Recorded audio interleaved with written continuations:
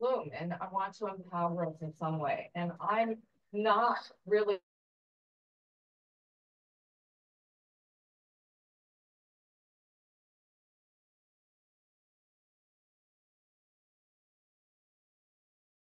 exhibit where those students read a poem by Olafur Eliasson. And he has done a lot of climate change work. He brings uh, uh, iceberg, pieces of iceberg that have broken off from Greenland. He's taken it to the uh, COP conferences about climate change and uh, allows people to actually touch a melting a piece of ice. And he believes that no one gets what a glacier is. And so he, he, it, and then it, it melts in front of your eyes. And this is like, like, I mean, what is really happening? And this, are you even going to get to touch it before it goes away? But his poem is about, uh, we have to remember we are the earth, we're part of the earth. And that's what my students did. So they went and they brought photos, they took photos from different parts of campus or, or in their homes.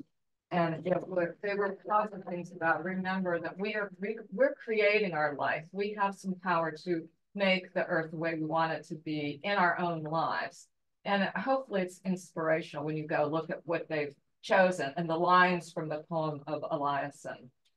Um, and then the second one is um, maybe a little more negative, and I was wanting to read Chance and Daniel's comments. Can I take it with Okay. I'm gonna get up to six minutes. Okay, so um, with the, our students in Digital Studio uh, read an, an article uh, in the New York Times that was a, a last year came out. It was called A Day Without Plastic. And why I wanted them to read that is it was funny. And how often do you read a climate article that makes you laugh while you're reading it?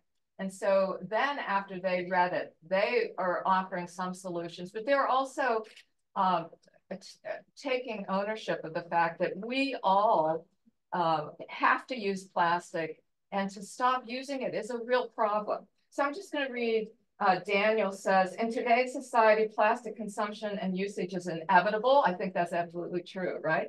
Almost everything we come in contact with contains some form of plastic, whether it is our clothing, shoes, food, products, and even healthcare products. Although plastic is essentially unavoidable, the biggest change that I can make to reduce the amount of plastic consumption is using single-use plastic products like this coffee cup. So if you go to the exhibit, you'll see he's got a photo of, of the coffee cup. He says, because this is no reuse, the amount of plastic adds up in an exponential rate.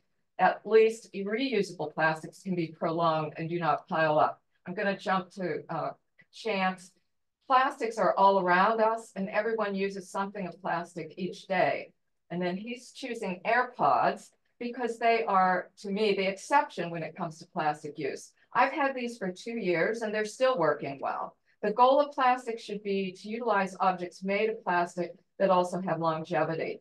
And he says more, and you need to go over to the exhibit and uh, read the rest of what he says. But they're both saying to, uh, saying we have a, a globe now, the plastic helps us in so many ways. It's lightweight, it doesn't break in the way that you know glass could replace, but if some if you drop a glass container, it shatters, dangerous.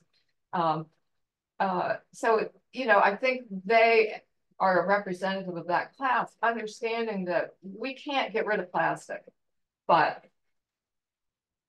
uh, okay, we can't get rid of plastic, but we should think about not using single-use plastic. And I'm sorry, my, my comic book creation students, go see their cartoons well as well.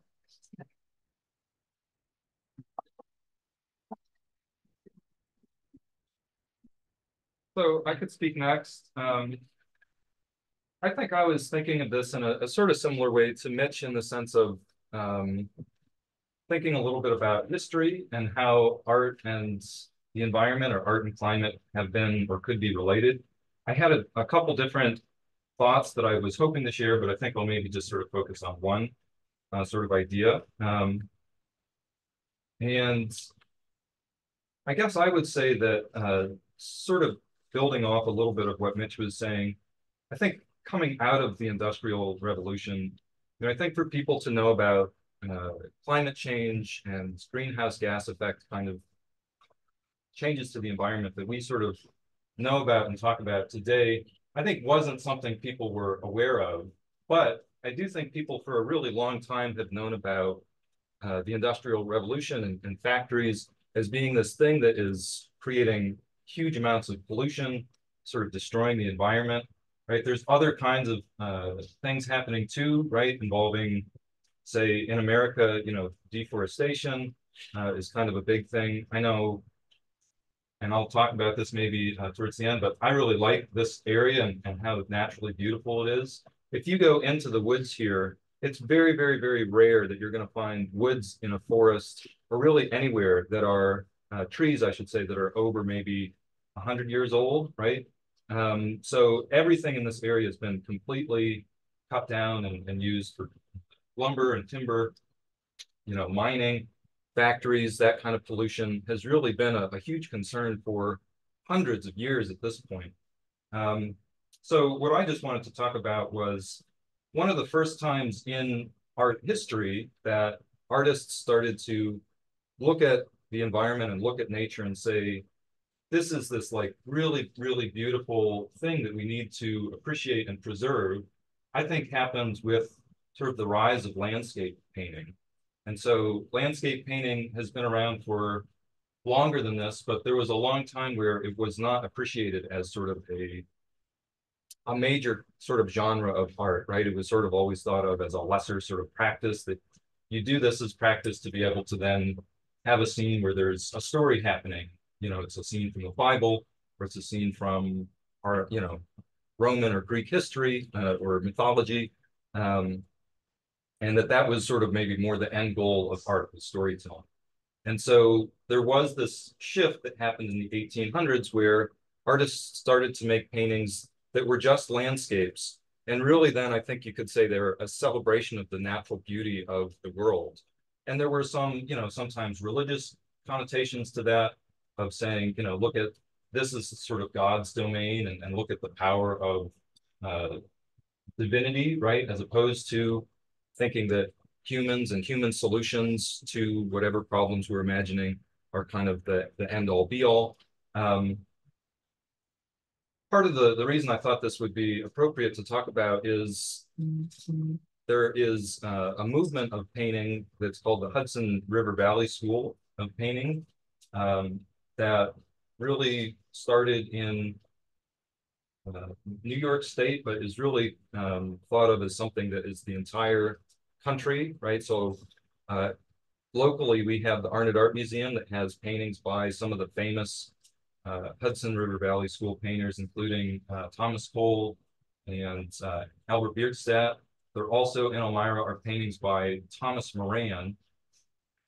And uh, the direction I wanted to go was just to say Thomas Moran was a, a painter who went on a trip out west when that was sort of new territory, right? 1800s. And people didn't really know about it. It was sort of at the same time that photography had just sort of recently been invented and still was not very popular, not used very much. And so he went on this expedition and did these paintings of the American West of places like the Grand Canyon. And when he came back, displaying those paintings as well as you know the photographs that were taken by other artists uh, during that exhibition were directly responsible for the creation of the national park system. So I think um, a lot of the the positive things I think about our area are its natural beauty, and there's so many sort of state parks, state forests, uh, privately funded, um, and you know sort of publicly supported uh, natural preserve, nature preserves, natural kinds of sites uh, in our area. And I think those are really important because they do sort of help preserve the land. They protect it from things like mining and logging and exploitation of natural resources.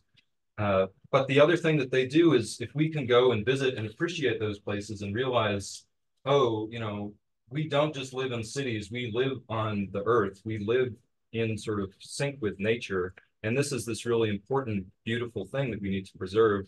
I think that is uh, a really important part of our society. So I just thought that's a little sort of a story of how landscape painting uh, to Hudson River Valley School to the creation of the national park system sort of impacts our lives and is really something that we see in our uh, local area.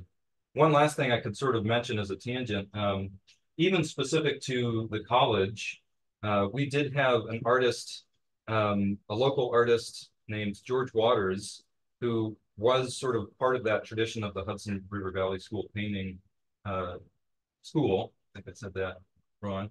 Um, and uh, yeah, so just to know the uh, George Waters Gallery, where we're having our student show opening tomorrow night from five to seven, is um, named after him, and he was a, a, professor here. And there are a lot of his uh, paintings that are in the area that you can see, including some uh, at the Arnott Art Museum.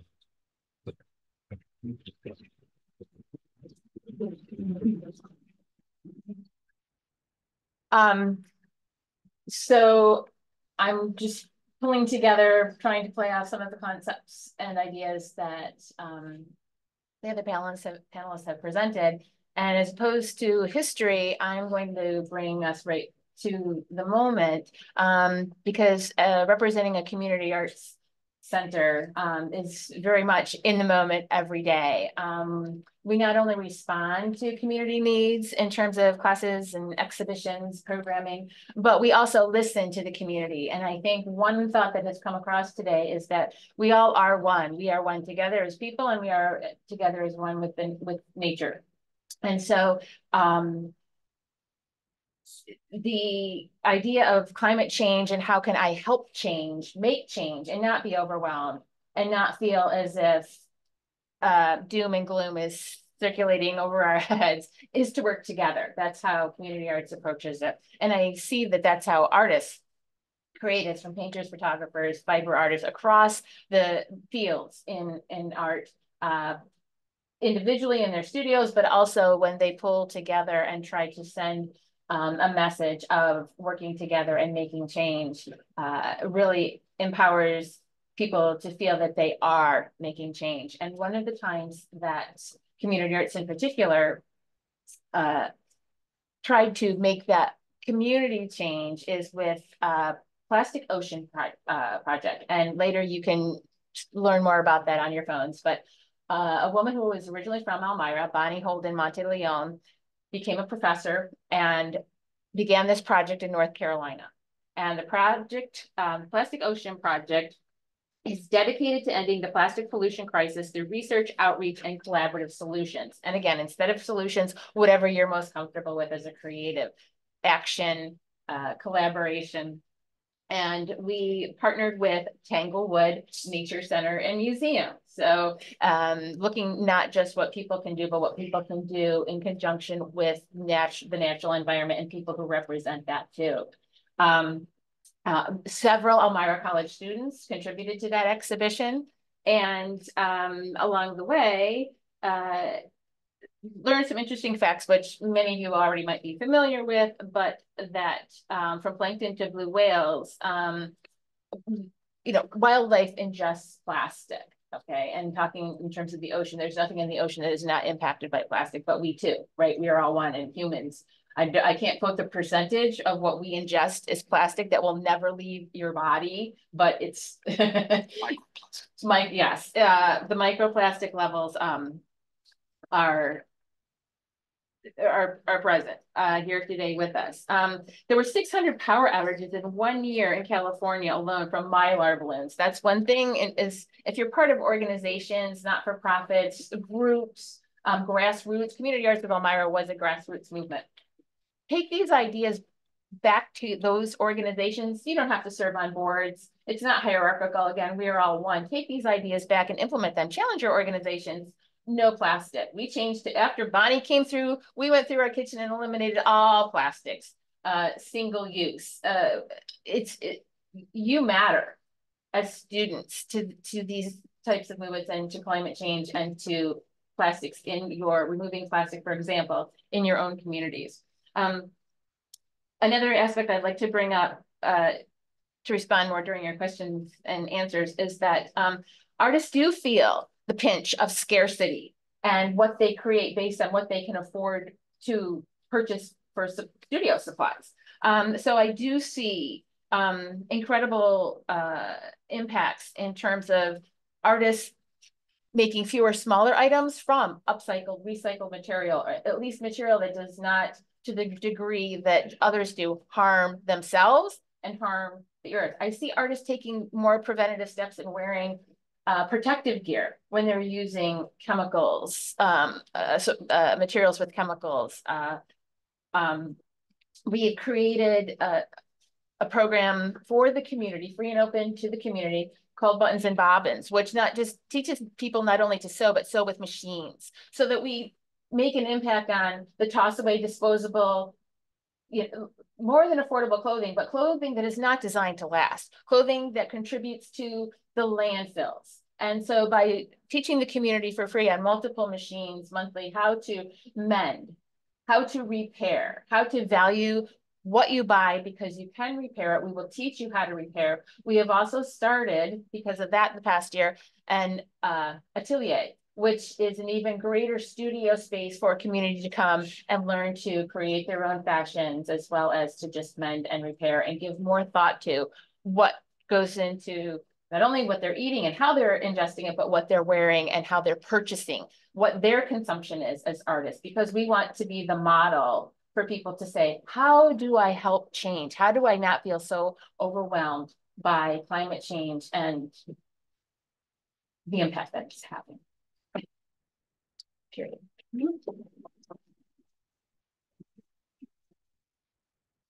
Is there any other thoughts you guys want to elaborate on? That's time for questions. I was gonna say, I have a, a little bit of statistics about the plastic, just because this is the article my students read. Uh, it says here that according to the Pew Charitable Trust, more than eleven million metric tons of plastic enter oceans each year, leaching into the water, disrupting the food, chain and choking marine life. We also watched Chris Jordan's film on, um, Midway Island, where the albatross babies, mother, the mother and maybe father albatrosses would feed plastic to the babies. Then he photographed the, the albatross cut open with all of the plastics inside because they died. Um, close to one fifth of plastic waste gets burned, releasing CO2 into the air, according to the Organization of Economic Cooperation and Development, which also reports that only 9% of plastics are recycled. Some aren't economical to recycle, and other types degrade in quality when they are. Plastic may harm our health. Certain plastic additives such as BPA and phthalates may disrupt the endocrine system in humans, according to the National Institute of Environmental Health Sciences. Worrying effects may include behavioral problems, lower testosterone levels in boys, and lower thyroid hormone levels in preterm births for women. Uh, and I think maybe some of your other classes, you might have heard about the microplastics and our bodies uh, that we don't even realize that. I mean, we're talking, my class was really looking at like the plastic on our phone and the plastic in our shoes, but we don't even think about if we drink water that we might be drinking microplastics. Yeah, and I just wanted to build off the point that you were making at the end of your presentation that, I mean, I think we think of the climate issue, the climate crisis issue, right, as how can we fix the environment, right? How can we repair the mm-hmm. environment, right? You know, when really I think it's fundamentally, you know, a cultural and social issue, right, of how we live our modern lives. And and what's really interesting to me is that it seems like we're at a crisis point anyway in our society. If you look at uh, surveys about people's happiness, right? Uh, people are not very happy about the environment. They're not happy about the politics. They're not happy about foreign policy, right? The, the civilization that we live in, right, seems to be failing and not really serving the greater majority of the people that live in it. Um, and yet this is the system that is destroying the environment, right? Um, and so it's a perfect opportunity to rethink how we live our lives. I mean, and I think we're all going to arrive at that point soon where we realize that's what we need to do. I was going to say, um, kind of relating again back to, to what Mitch sort of started our, our discussion with uh, uh, the Industrial Revolution. I, I think we can really think about art as being a product. And I think that can be really dangerous, right? That it's this thing that the only goal of art is to make an object that you sell and then maybe make as many objects as you can to sell as many as you can to make as much money as you can so you can buy someone else's products and it's this sort of vicious circle. Um, and I think there is a different idea of art that's a little bit maybe more closely related to what Lynn was talking about and sort of um, some of the goals of community arts. Um, and so I was thinking about there was an artist who I saw a lecture by uh, a number of years ago named uh, Pedro Reyes, who's a, a, Mexican artist. And I thought this project that he did was um, a kind of astounding idea. So uh, he was from a, an area in Mexico where there was a lot of uh, gang and, and, gun violence, and it was a, a real problem, as I'm, I'm, sure you guys have heard about, is sort of something that is uh, still really very prevalent in parts of Mexico. And so what he did is he had, and this is something that, you know, it's not painting, right? It's not um, exactly sculpture. It's, it's something that you might call social practice instead. Um, and so what he did is he had this community-wide event where he said, you know, if you have a gun, right, that it's like something that you want to get rid of and you want to sort of remove guns from this community, you can bring them to this event and just give them, you know, get rid of them. And it doesn't matter if they're, you know, illegal, unregistered firearms, whatever it was. So people did that. And then they got all these guns. And then what they did is they took those guns and they melted them down into just the steel and they cast them as shovel heads. And then they made shovels out of those, you know, pieces of metal that were from guns. And then they had an event where they uh, got a bunch of community members together again, and they planted trees using those shovels. So in one way, that's a sort of a very symbolic thing. And that's, you know, I don't think something that you could do that exact thing everywhere in the world every, you know, year, and it would be have that kind of success. Um, but I thought that was an example of rather than going out and getting these, you know, certain materials and buying them sort of raw, right? It's more that idea of, of sort of recycling material. And it's a way of kind of um, engaging the community, you know, maybe sort of improving the lives of people in the community. And also it did have that connection towards trying to improve the world and better the environment by planting trees. So I thought that was kind of an extraordinary um, project. And, you know, it's, it's maybe doesn't sound quite the same, but I, I do think uh, some of the things that uh, organizations like Community Arts uh, do do help uh, push some of those ideas forward in a simple way. And what you do locally can be extraordinary. I agree 100% that was that project was it was amazing. But you all are amazing too. You're here today, you're thinking, you're considering um, how you can make a difference. And um, and it's not just it's not just art. Um, for Earth Day, the Southern Tier Tobacco Coalition asked to partner with Community Arts in Elmira because they really wanted to send a message about the cigarette butts that were three inch deep in some parts of the city, but mm-hmm. in some parts, but they were everywhere in the community, not just in, in certain um, neighborhoods and districts. And so we did partner um, with them and from that community collection, anyone in the community was welcome to come and collect the cigarette butts. And then those who wanted to could turn them into messages of creativity uh, that we too then put in an exhibition. Um, and so for the community to see themselves as creatives and as artists too with no training, no experience, but with concern for our local community and the fact that those cigarette butts are not going anywhere um, except a garbage can. But to put them in the garbage can before there's a message to the community and, and, and that message is to come and look and see and hear and learn and participate. Um, it does make an impact it, it doesn't necessarily change or solve a problem, but it makes an impact on us, I think, uh, intellectually, emotionally, viscerally, and helps to continue to overcome or at least um, improve the mental stress that comes along with all of this too, in terms of what, what, what's our future? Well, what's our present? What are we doing in our present? And hopefully that will. Maybe open for questions. I just wanted to pick up sort of on what Mitch was talking about and sort of Aaron with art. Uh, in industrial revolution and history, um, one of the things that I teach is a survey of art, and we start. Like forty thousand BC.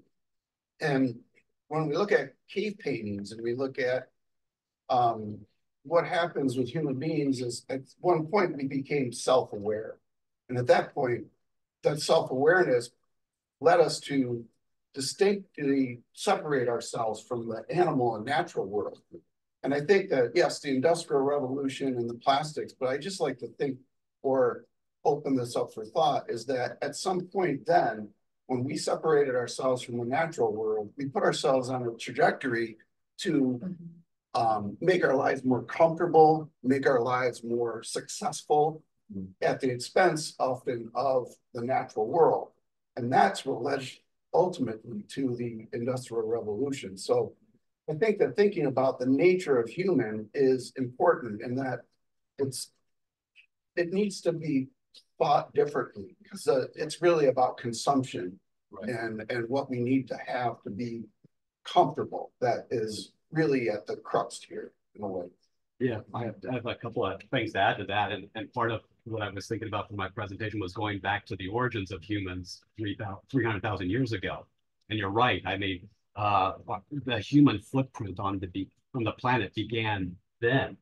Um, uh, in terms of um, hunter-gatherers, right, uh, foraging, uh, using fire to clear areas, you know, uh, uh, that type of thing. Um, and then you get up to the the uh, the agricultural revolution, right, which is a massive impact on the environment.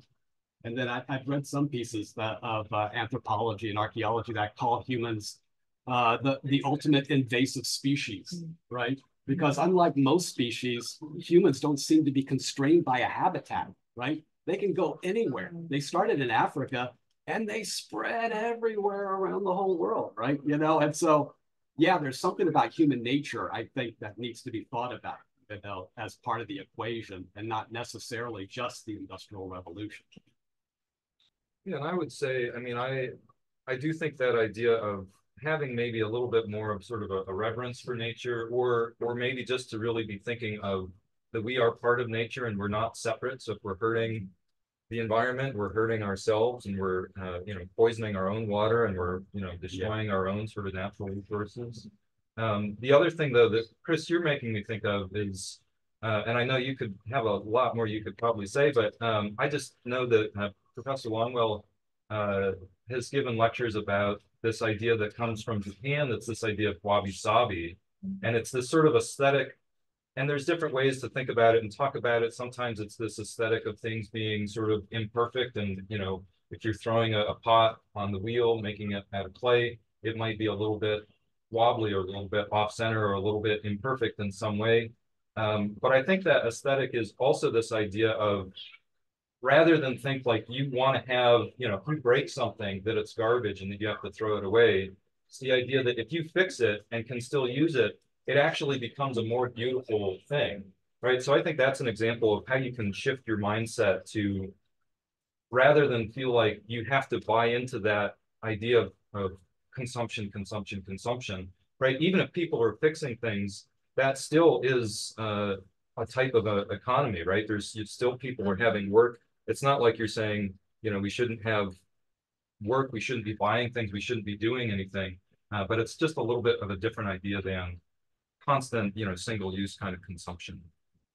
Maker spaces and Tinker Labs are, as we all know, are, are have been experiencing a resurgence. And again, it's not to the exclusion of new new you know, innovation, but yet it does show an appreciation for, and I think oftentimes an intention to reuse, repair, repair, and uh, and also uh, enjoy and feel good uh, again, it's a wellness too. right, that, that as we do, as we do these things, we are feeling better about where we are and what we are putting out into the world as creatives too.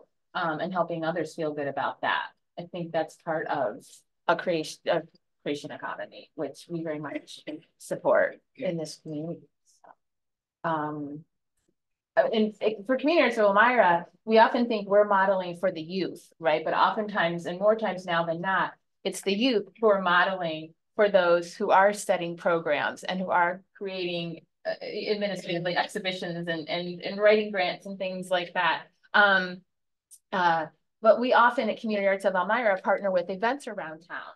And yes, larger um, action steps you can take to reuse, reduce, and upcycle, but we work with Elmira College and usually a senior or a junior will create a watercolor sketch. And we take that out into the uh, community and the children have uh, watercolor. We do not dump in the lawn. People might think, oh, that's, it's not really toxic. It's okay. Like, no, it's not okay. The community is watching you. You should do it for, obviously to do it for the right, right reasons, to respect nature, but the community is watching and we are models, we are teachers and what we do, whether we are, have the, have the title or label of a teacher or not. And so we take extra, extra buckets with us and we dump the water in the buckets and we haul it back to community arts and dispose of that safely. I mean, no, no action is too small. I'll repeat, we don't allow balloons at Community Arts of Elmira because some person said to me, well, now they make balloons that, balloons that are biodegradable. And I said, they're not biodegradable for four to ten years. Like, they're still around for four to ten years and no, no, nothing is truly in, terms of that ever going to, again, disappear. So small things like that, it doesn't make you popular, but you would, you would, you would, it, in the, in the short run, but in the long run, it compels people to be more creative and what they want their, the- you know, when you're celebrating a birthday or an anniversary or a wedding, what is it in the environment that you're creating that you're celebrating? You're celebrating at the expense of the earth. And we are, again, to go back to the idea that we are one, so small steps can make tremendous impact. We would love to hear if other people have more questions.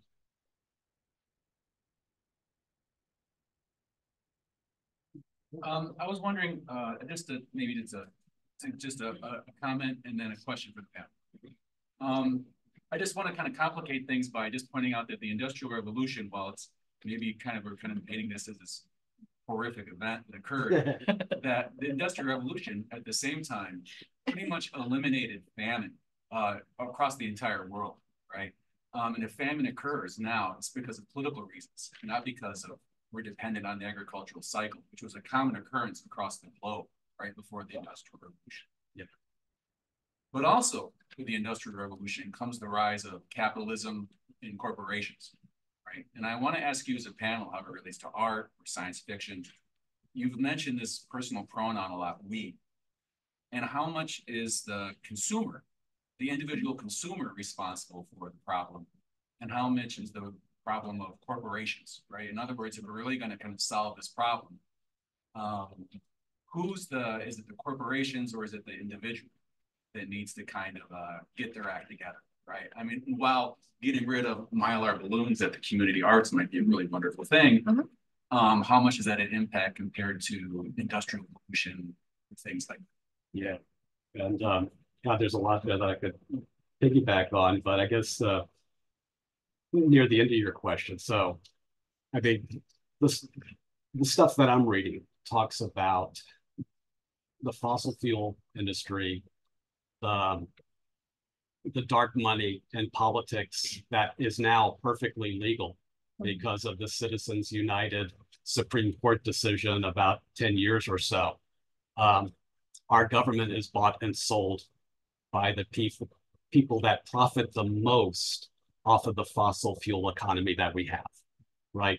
And so there's your nexus, right? The government, uh, corporations, you know, and the fossil fuel economy that is destroying the earth. Um, and uh, I don't know how individuals can affect change governmentally, you know, when if you look at the track record, I was looking at some data sets the other day, most people have the sense that the government doesn't do anything. But you need a, you need criteria to evaluate that. If you evaluate the criteria from a people's perspective, it's not doing anything most of the time for the people. But if you evaluate it against the one percent and the ten percent, the corporations, they're doing stuff for them all the time. Right? So uh, they're winning at a time when most of us are losing. Um, and so I think part of the solution to the climate problem is addressing the ineffectiveness of our government for most of us. And I don't know how you do that, but um, this is a, a related theme here. I'm expecting, I, guess I'm the doom and gloom guy here on the panel, but uh, uh, I'm expecting eco-terrorism is what I'm expecting. You know, uh, I think we're going to see it in the next five to 10 years where people are going to start panicking and feeling like, hey, nobody's doing anything. It's time that we strike, right? Uh, there was a book that just came out here in the last five years, and I think they made a, a movie about it. You know, it, it was uh, blanking on the name of it. It was something uh, like how to bomb uh, an oil field or something like that, or how to bomb a, a pipeline. Thank you. Yes, and uh, how to guide, you know, to be an eco-terrorist. Um, so um, that's it, it is a huge problem. But you're right. You have to factor in corporations. You have to factor in the government uh, into that equation. But we are too, con- we are consuming what they are producing. Yeah. So. Again, it. My opinion, it's just, it's both and. You know, we've seen, we've seen people. Move against other. Justice. Issues and to not feel hopeless. Um. To believe that we each can do something and to find that source where you can do something. Will, it will it fix it? Will it make, is it a solution? But day to day. Um. You know, it's that look to your left, look to your right, go back to your communities, take back what you have.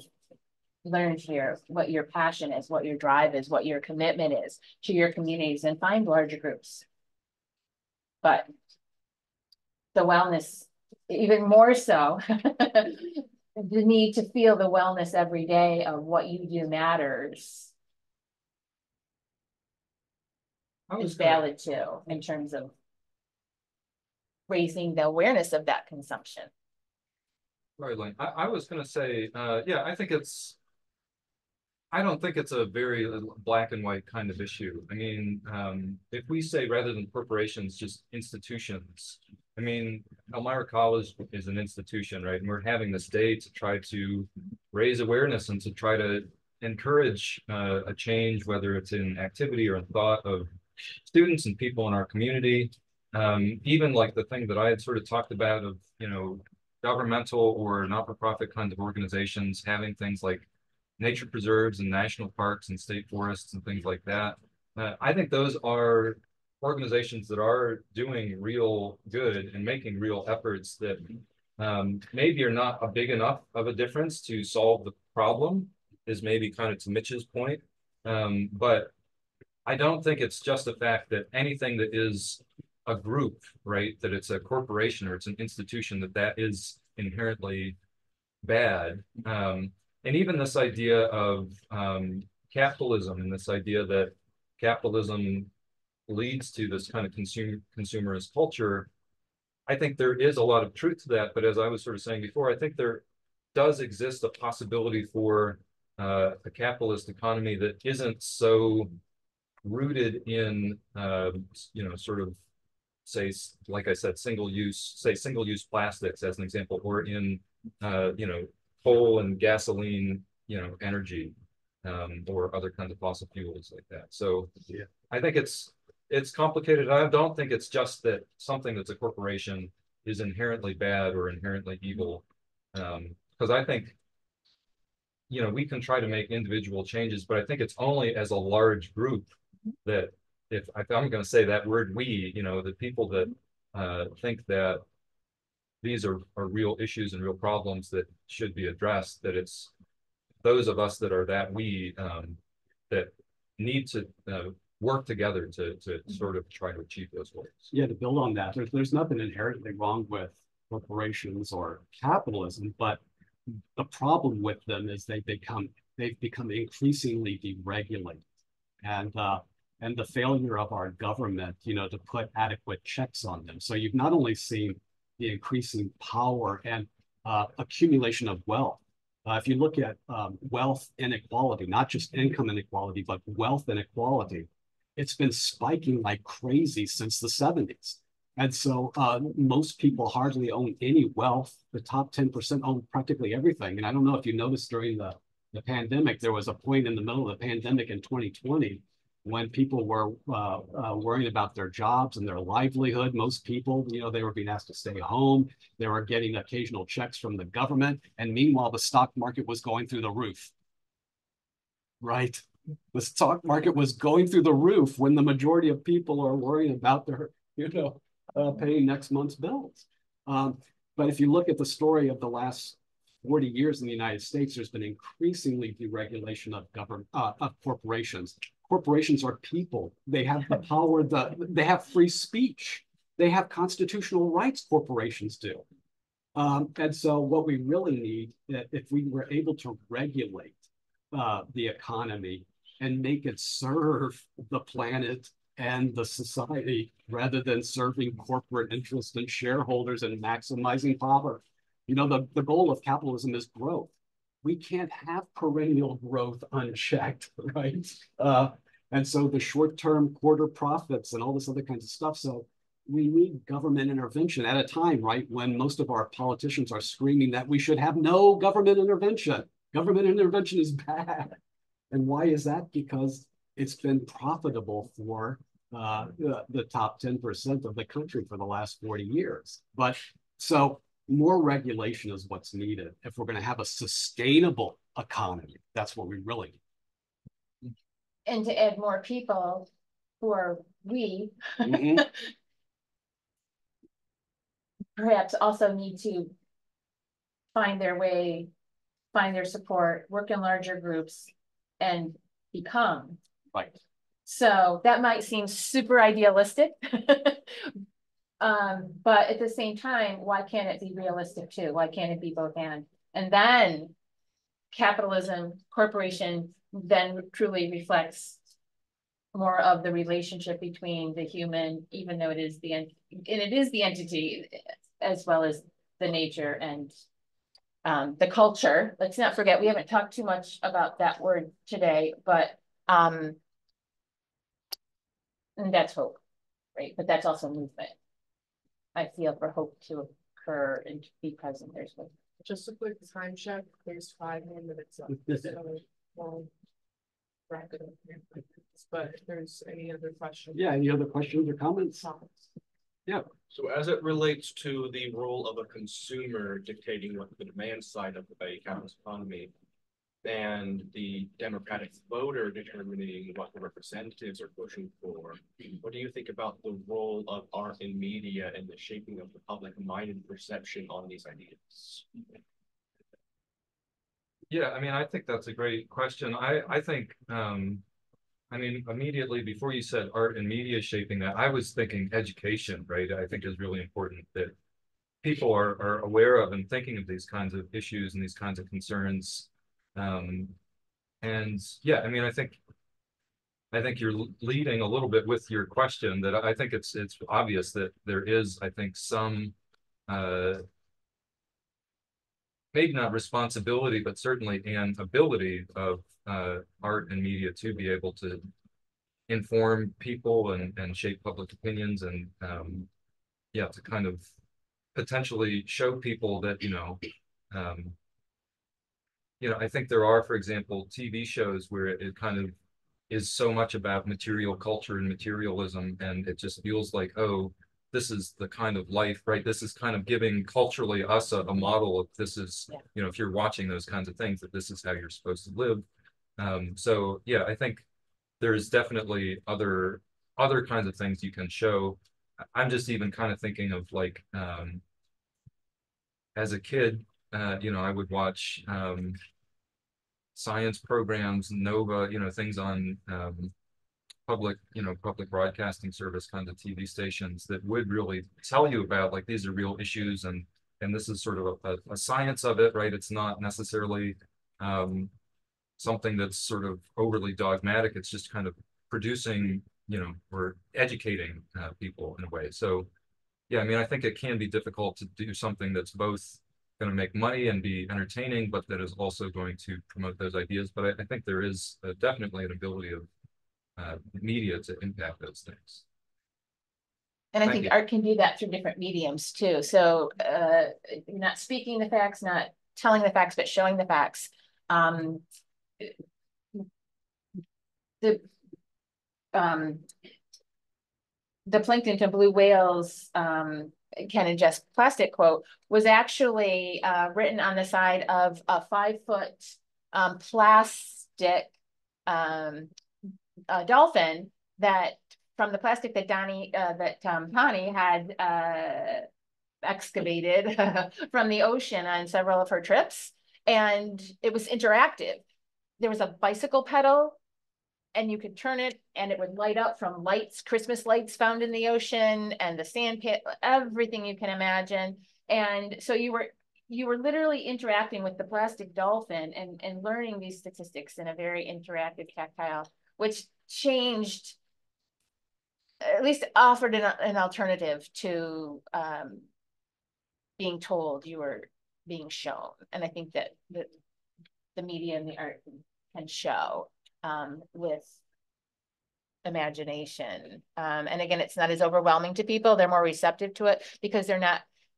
Um, the, I think there's an important aspect of doom and gloom to things. I, it, it, that that that's a that can be a motivator, and that's okay. But there also then has to be a level of how can I live with this on a daily basis, and it can, and it, it doesn't deplete me more than what's happening in terms of climate change. So I think art can present that truth, right? Artists speak truth to power, but yet also, especially in a community and collaborative settings and exhibitions and classes, teaching people can happen in not very non-traditional ways too, that are um, more receptive. People are more receptive to Jack, I perhaps. know you had a question. I just wanted us to try to get to you. too.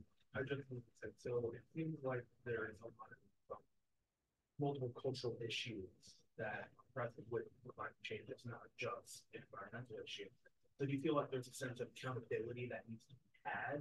So that like one of the ways that we can help change everything is by making sure everybody takes accountability for their impact, or is it just more of a a accountability side of corporate instead of just Yeah, I, I think it has to come from the ground up, you know, and uh, uh, the corporations aren't going to change their ways. And in fact, they want more.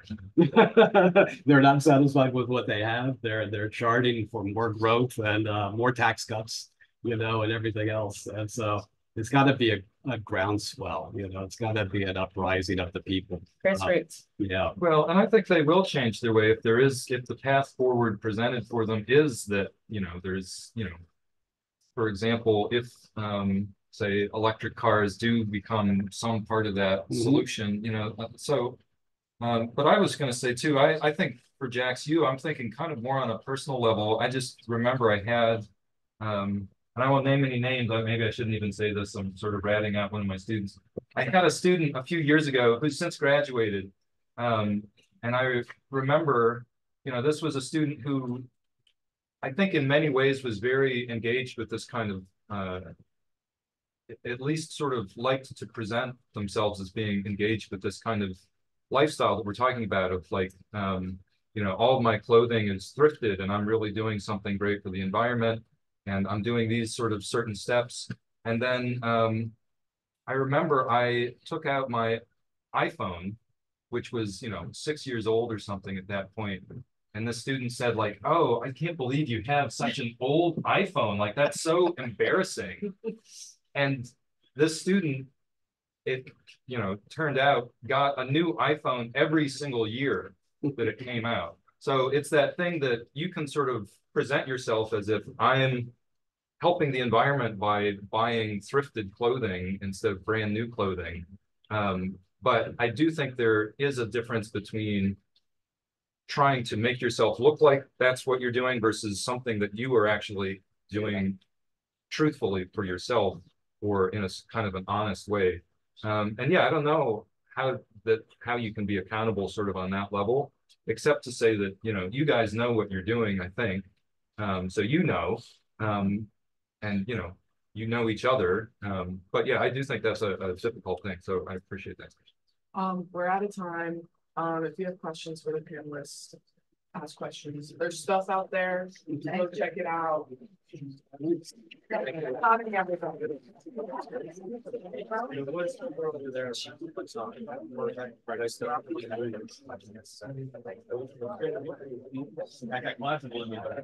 One thing after another. Yeah. Like, um, about like if I gave you for real because she was saying. She was saying like, because she's saying- Oh, it was being passed around, so it's, it should be, it should be clear. Maybe it's on a, I remember seeing it out there last. Oh, got? Okay. Yeah. that'd be great. Okay, I'll send, I'll send, I'll send that. I'm sure I told you about that. That's fun. Like, man, I think- Yeah. Yeah. Thank you.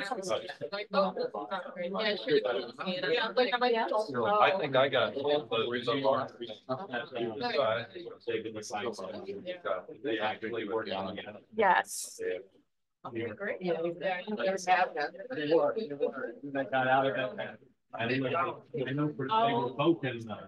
Yeah, I just